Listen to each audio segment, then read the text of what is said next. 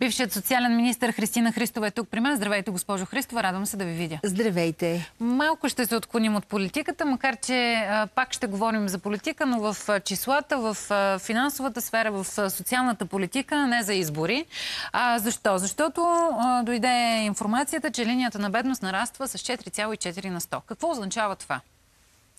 Линията на бедност вчера беше прието постановлението на правителството да. за определене на линията на бедност за 2024 година. Тя наистина нараства с около 4%, става 526 лева. Но да кажа няколко думи за линията на бедност, защото а, в последните няколко седмици а, няколко а, души ми се обадиха да питат, абе тази линия на бедност каква роля има? Защо, е целта, да. защо въобще я определят? И а, искам да кажа, че е много важно нещо. Други въпросът, че ние късно определихме за първ път у нас линия на бедност през 2006 година. Тогава беше в навечерието на влизането на България в Европейския съюз от 1 януари 2007 и се съобразихме малко с изследването на Евростат, но започнахме да определяме. Защо После... е важно да имаме тази линия на бедност? И 2019 вече е, да? тя почиваше върху ръста на малката потребителска кошница, но макроекономистите казаха не, това не може да е показател малката кошница само с 100 стоки и услуги. Нека да разширим голяма кошница, да има 500 стоки и услуги, дава по-голяма представа. И 2021 година вече напълно се съобразихме с Евростата. Имаме тази методика. Линията на бедност, ако мога така да кажа с едно изречение, това е монетарен израз, т.е. паричен израз на идентифицирането на бедните в нашето общество.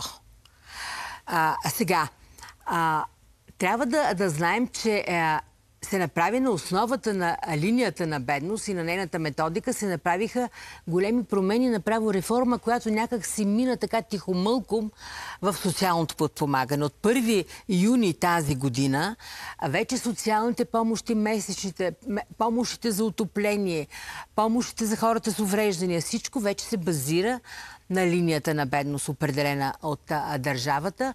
До сега беше върху така наречения гарантиран минимален доход, който, обърнете внимание, стоеше 75 лева 15 години. Този гарантиран минимален доход. И а, вече има реформа. А, мисля, че така е, е по-правилно да се каже какво точно следваме, върху каква база стъпваме, за да кажем да, този човек, който а, има доходи а, под линията на бедност, трябва Тоест, да му се помогне. Тези, за следващата година 524 лева. 26, 26 да. лева. А, обаче има една особеност. А, това е, че държавата не може да покрива с сегашните си финансови възможности цялата линия на бедност. Да каже, бе, човека, ако има 300 лева нали, доход, дайте да му дадем още 226, защото той а, е под линията на бедност. Държавата слага за основа 30% за сега от линията на бедност. Но, Защо? Кое е, но кое е положителното в цялата работа?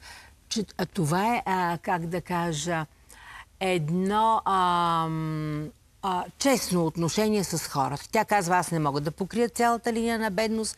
Тя по европейската методика, която за всички европейски страни е валидна, е толкова и толкова, но ние можем да покрием толкова от нея. Разбира се, има една система от раздвижени... А какъв е смисъл тогава? Ами все пак да, да казва, да, ние да, знаем да. какво е. Ние можем за сега да ви помогнем толкова, в такъв, в такъв дял. Въпреки, че то колкото нараства линията на бедност, толкова ще нараства и сумата, която ще покрива държавата. А точно така и трябва да ви кажа, че за 2023 година, макар и бюджета, знаете как беше прият през юли и така нататък, сумите нараснаха много, особено от тази реформа от 1 юни, е с включването на линията Тоест, на бедност. това е на, а, относително, можем да кажем, добра новина за хората, да. които а, живеят под линията линията на бедност. При всички случаи е добра новина, а при всички случаи е важно и то ще се върви напред стъпка по стъпка.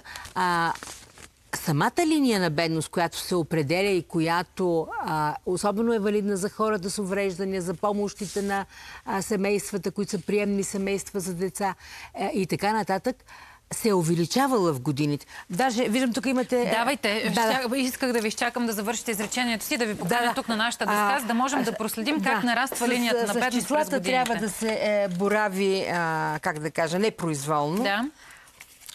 А, ето... Дайте да ви Да. помогна. Ако А. Оп, ще, ето. ще вземем друг. За последните 6 години, например, като слагам за база 2018 година. Така. Това е линията на бедност. Линията на бедност. 2018 година тя е била 321 лев. И тръгваме сега нататък. 2019 година тя е била 348 лева.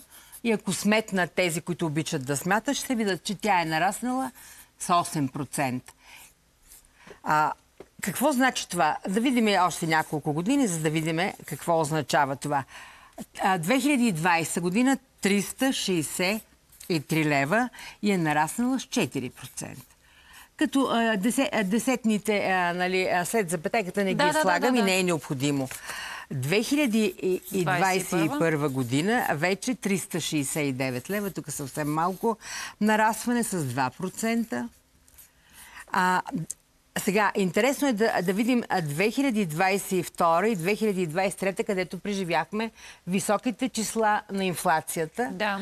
А, 2022 става 413 лев. Ето тук вече 11% нарастването. И 2023 за да поемем това, което се, за да се поеме и, и то се прави според мен, 504 лева, тук е 18% на Сериозно нарастване. нарастване. Да. И сега отново, а, а, трябва да ви кажа, а, доколкото разбрах, тя се очаква инфлацията средногодишната за 2023 между 7 и 8 а, процента. Ще видим сега какво е. Да. Първо ще коментираме в бюджета какво ще се заложи. И ето вече това, което вчера беше взето като решение от Министерския съвет. 526. 526 лева и с 4,4%, понеже е по-прясно число, а, а, нарасна. А, бих казала, че а, представата за бедността в България и индексацията с, на линията на бедност е покривала в този период инфлацията. И ето вижте, особено тия две години, 2021, 2023, 2022, 2023. С по 11 и 18%. Да, да, аз а, мисля, че да. И мисля, че а, това е правилната посока, в която трябва просто да се, да се върви, за да може а, да сме наясно какво се случва. Ето, например, какво става с а, пенсиите. Сега в момента пенсията е 523 лева.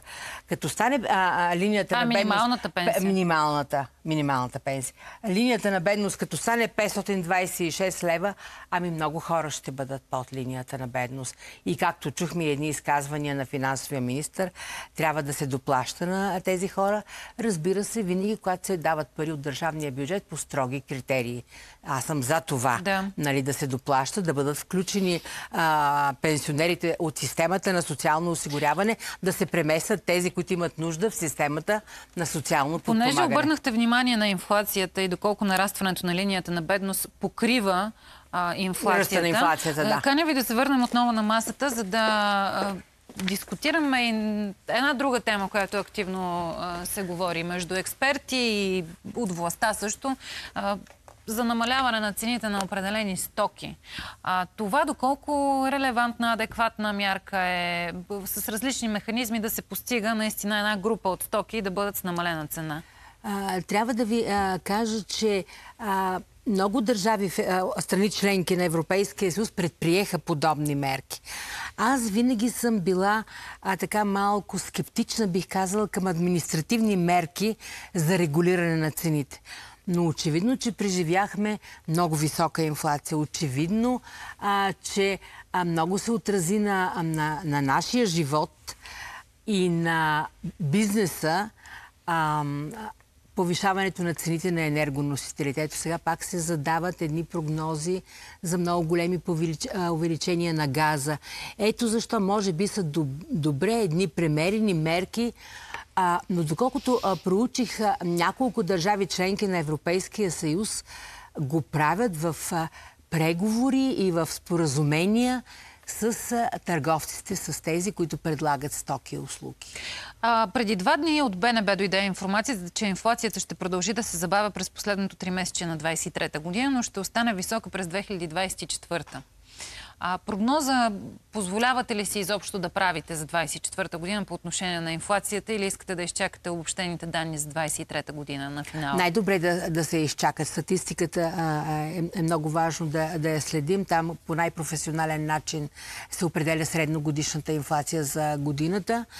Но а, Възоснова на това ще се сложат, разбира се, и базовите а, а, така, индикатори, върху които ще се построи а, бюджета, ще се конструира бюджета на държавата. Нека да изчакаме да видим какво още се случва но а, като че ли обща тенденция е на намаляване на инфлация. Благодаря ви много, госпожо Христова, за този анализ, за това, че направихме и тези сметки и прочит на числата а, тук на бялата дъска при нас. Очакваме ви отново. Те първо ще видим как ще изглежда и заложения бюджет за 24 година.